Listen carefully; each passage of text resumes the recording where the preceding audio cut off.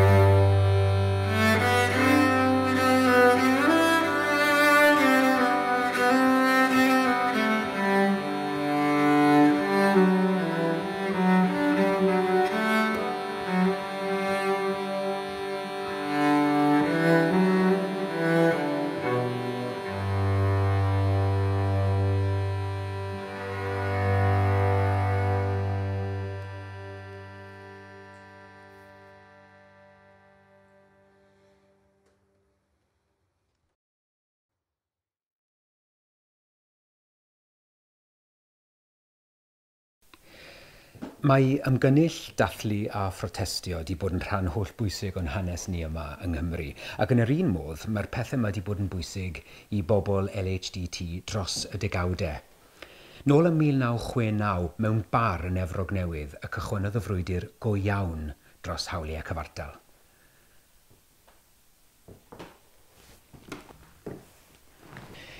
Un noson wedi cael llond bol ar yr heddlu a'i cyrchoedd di-sail yn y Stonewall Inn, fe benderfynodd y gymuned frwydro nôl gan ddweud digon yw digon.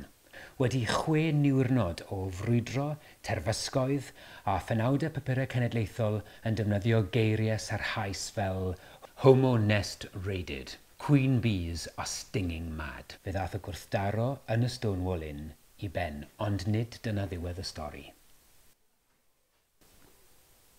Y flwyddyn ganlynol ym 1970, cynhaliwyd protestiadau dan faner Pride am y tro cyntaf yn Efrog Newydd, Chicago a San Francisco, a dyma wir drobwynt y frwydr dros hawliau i bobl LHDT. Wrth gwrs, erbyn hyn, mae yna brotestiadau a dathliadau Pride yn digwydd ym mhob cwr o'r byd yn flynyddol, a'r un yw'r nod, protestio yn erbyn rhagfarn a chasineb, fel bod pawb yn rhydd i fod yn nhw i hunain.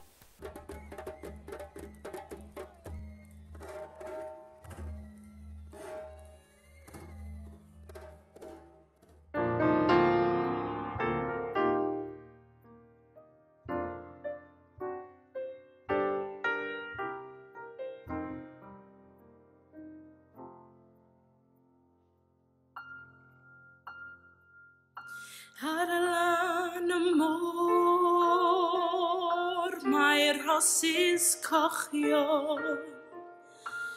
Ar y lan y môr mae'r lilis gwenio. Ar y lan y môr mae'n nghariad hunan yn casgu'r nos bajo dirbore Herlan mor my blood I may be on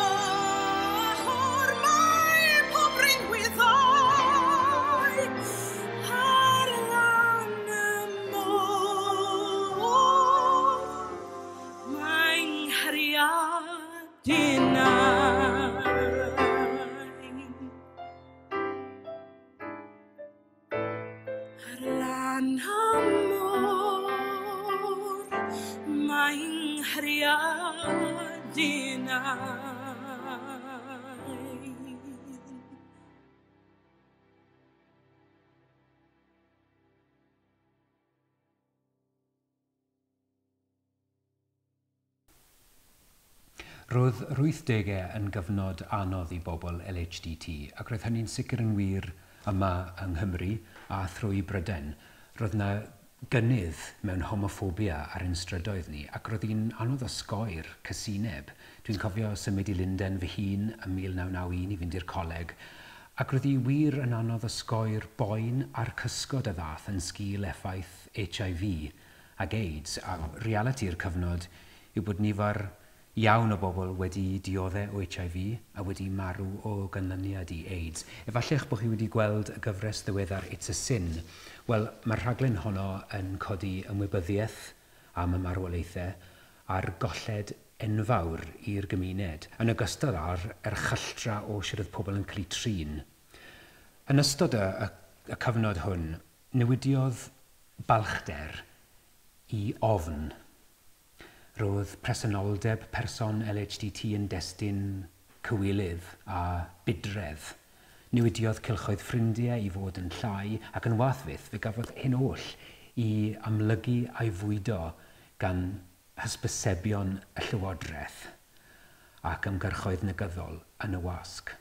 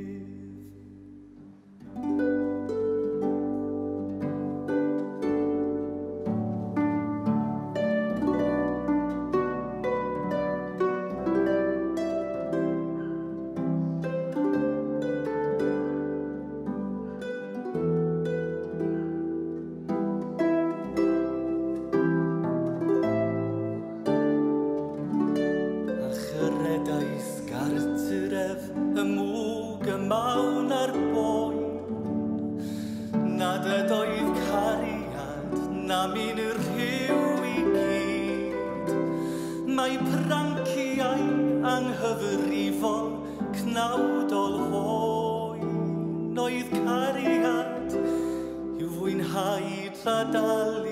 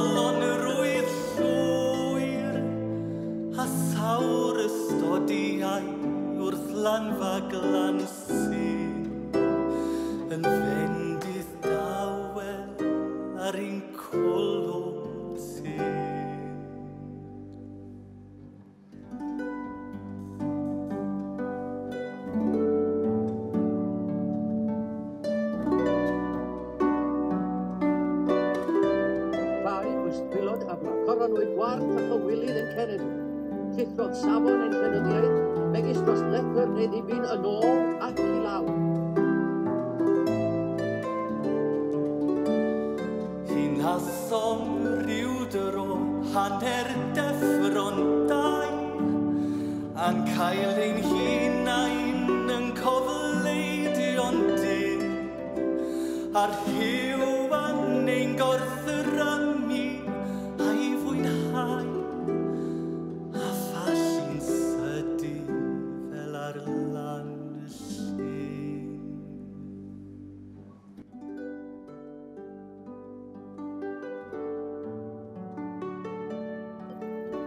amser beirniad yn rhyfeddu i'r falfydredd gael y goron. Os naturiol ydyw casglu fod yr awdur yn berchen dychymyg trofaes, rhafet a blysiau annaturiol. Llwyr ddeffrol ac ystyried beth am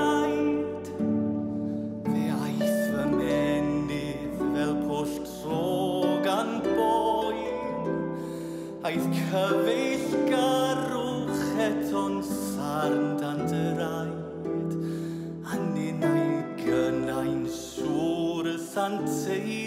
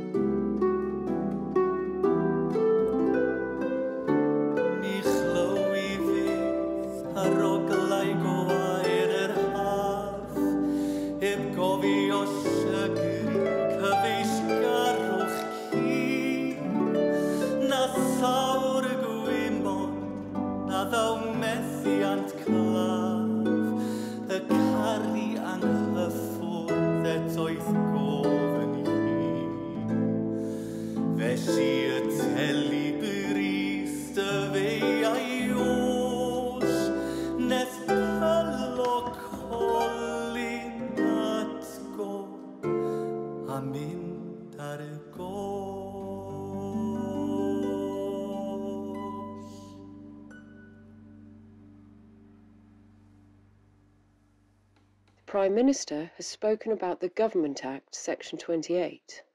Margaret Thatcher said, It's the plight of individual boys and girls which worry me the most. Too often, our children don't get the education they need, the education they deserve. Children who need to be taught to respect traditional moral values are being taught that they have an inalienable right to be gay.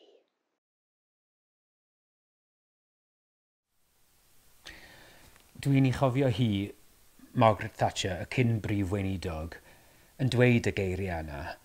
A dwi'n cofio teimlo'n grac, dwi'n cofio teimlo yr ofn am yr hyn oedd i ddod, a dwi'n cofio teimlo nad oedd hawl gyda fi fod yn fi'n hunan, a mae hi'n siarad fel pe bai e'n ddewis. Angredadwy. Y flwyddyn ganlynol ym 1988, cyflwynodd Llywodraeth y Deyrnas Unedig – y ddeddf llywodraeth leol. Roedd rhan o'r ddeddf, sef cymal 28, yn gwahardd hyrwyddo cyfynrwyoldeb a pherthnasoedd teuluol ffug. Roedd y ddeddf hefyd yn gwahardd unrhyw gyfeiriad at bobl LHDT o fewn ysgolion. Y ddeddfwriaeth fwyaf homofobig mewn canrif. They have an inalienable right to be gay. Nawr fe barodd y ddeddf hyd nes 2000 a thair, sydd ddim mor bell a hynny yn ôl wedi'r cwbl. Ac yn 2009 fe ymddeheiriodd David Cameron, y prif weinidog ar y pryd, am effeithiau yr hyn a adnabyddir hyd heddiw yn Section 28.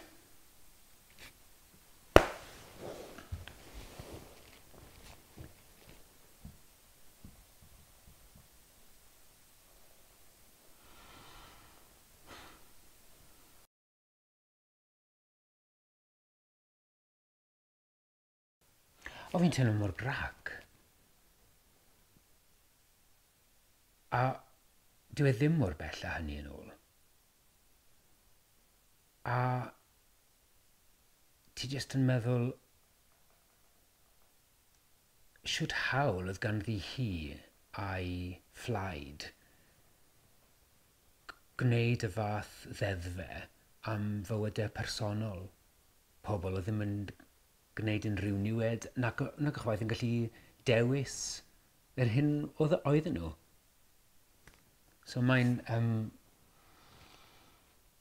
o'n i'n dair ar ddeg neu falle peder ar ddeg ar y pryd. Ac wrth gwrs i rhywun yn ei ar ddegau sydd yn dechrau uh, ffind o mas pwy nhw, mae clywed y prif weinidog yn dweud y pethau yna yn cael effaith dwfn ac oedd llond, llond bol o ofn arna i ar y pryd. Ie. Yeah. Ac wrth gwrs nath e effeithio ar yn addysg i, oherwydd wedyn dyn ni ddim yn cael uh, gwersi ynglyn â cyfynrwyoldeb a, a, ac wrth ni wedyn wrth gwrs yn dod â teimladau o gywilydd. A mae'r teimladau o gywilydd, mae'r teimladau rheini yn aros gyda rhywun am sbel.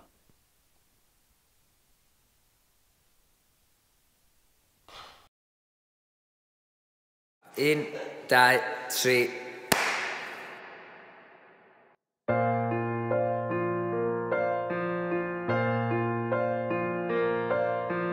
Weithia, dim ond weithia, mae na bethan dod yn fyw ar adega, mond ar brydia, fyddai'n meddwl fod na rhyw mwyn dros y dyffryn Hyd ar y ddôl a'r hyd y gorffennol Yn ymwthio yn ei ôl. Ac o'n ymerfesgyrn fod na rhywbeth ar dro A hen ledrith y gorffennol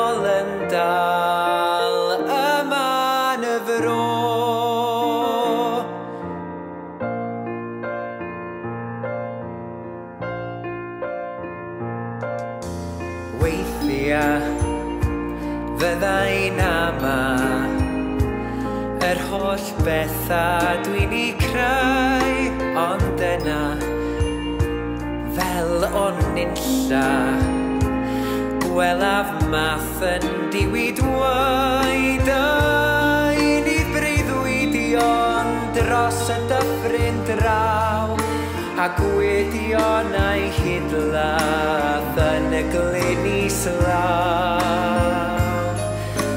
Ac o'n ymer mer bod na rhywbeth ar dro A hen ledrith y gorff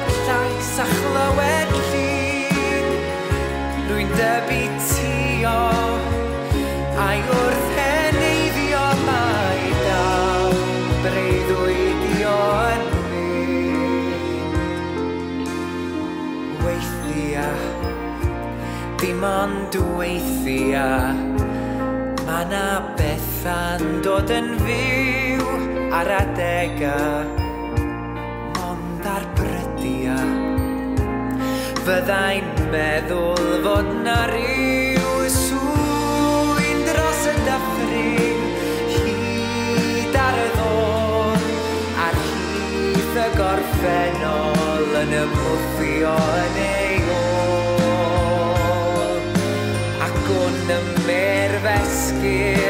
naar Reeuwberg.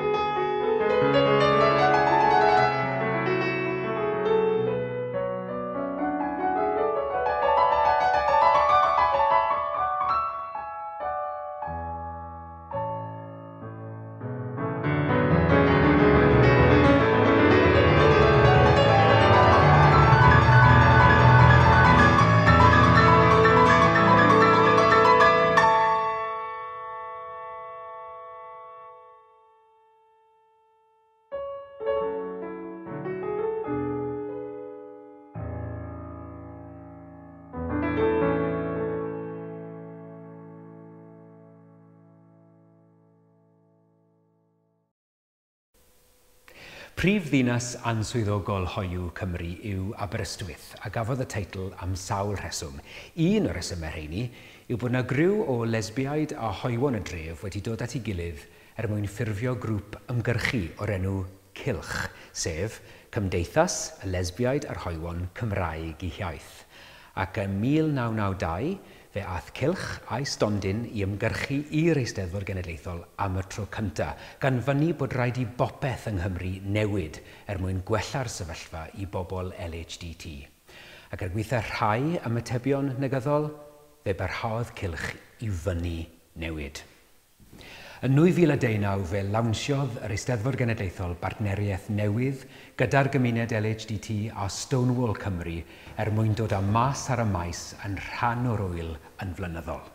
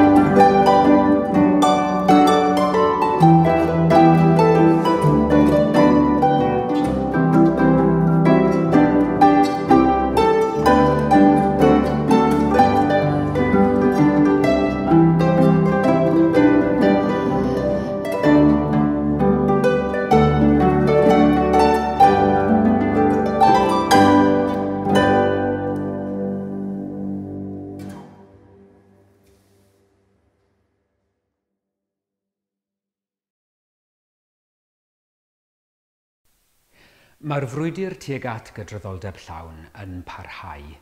Hyd heddiw, mae yna gyple LHDT yn ysgoi dal dwylo yn gyhoeddus rhag gorfod wynebu rhagfarn a gwawd.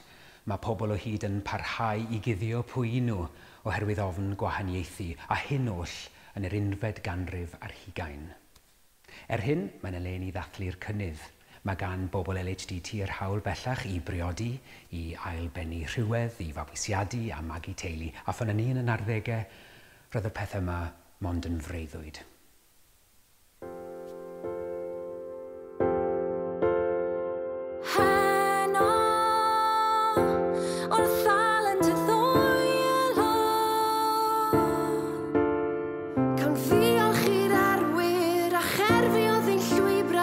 Ac o leia